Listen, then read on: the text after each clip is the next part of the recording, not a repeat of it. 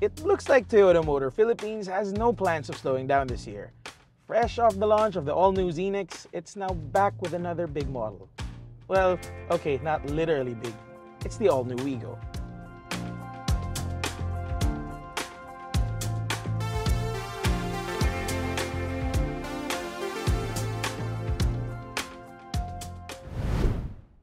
The all-new Wigo looks like a beefed-up version of its predecessor, but it still has a familiar silhouette.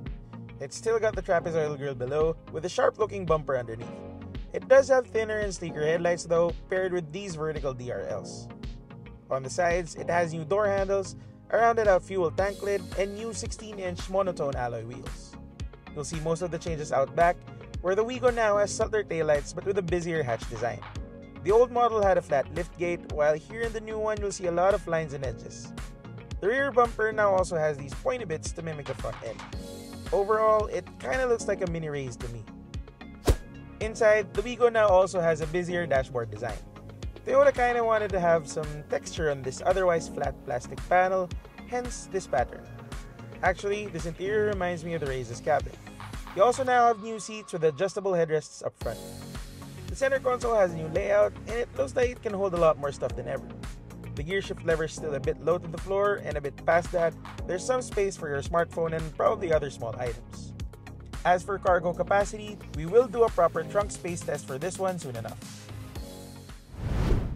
The all-new Wigo is powered by a 1-liter 3-cylinder gasoline engine that's now mated to a continuously variable transmission.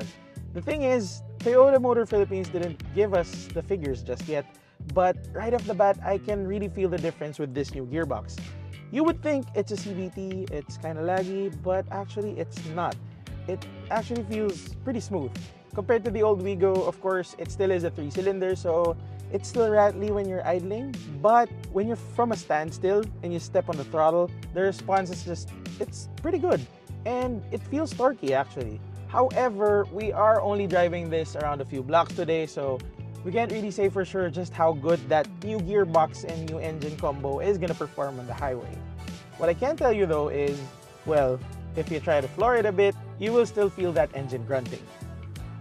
Ride comfort is still pretty much the same, though I have to say NVH levels are better than expected inside this cabin. Steering, it's not electronic yet, so it's light, but it's not electronic power steering light. Other first impressions, driving position is, it's okay. It's a small cabin after all, but you do have height adjustment for the driver's seat. No telescopic adjustment for the steering wheel, but you do have tilt adjustment, so that's okay everything is still within reach. It is a small car after all. You have head unit controls here on the steering wheel. The infotainment system is now a bit higher up, but it's still facing the driver a bit. It's angled a bit here.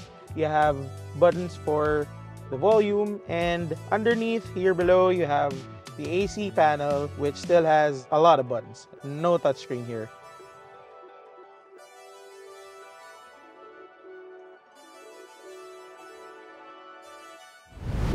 As far as prices go, the base J variant with the manual gearbox costs 609,000 pesos. The mid-E variant with the CVT costs 684,000 pesos. This top spec G variant, no GRS available, goes for 729,000 pesos. That's about all we can tell you right now because again, we just had a very very quick drive with this one.